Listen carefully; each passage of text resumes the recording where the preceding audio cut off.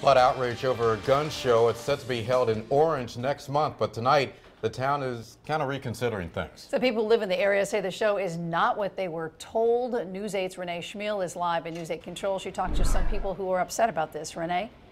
Keith and Ann, residents expressed concern about the gun show at a meeting last night. Some town leaders were already having second thoughts about the show after they learned it wasn't quite what they'd expected. High Plains Community Center in Orange could be where the Stratford Gun Collectors Club holds a gun show in November. It would raise money for American Legion Post 127 in Orange.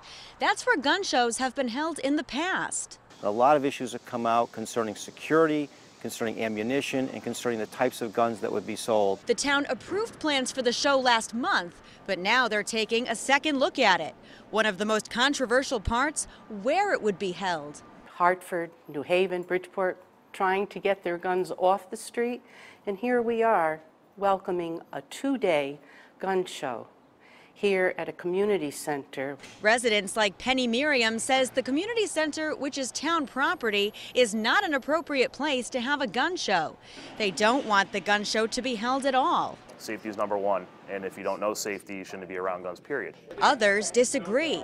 William Pedersen is a pistol instructor at Grayson Guns in Orange. He says gun shows are a good way for people to learn more about guns and safety. I feel that the people that don't know about like firearm safety and whatnot are a little fearful of them.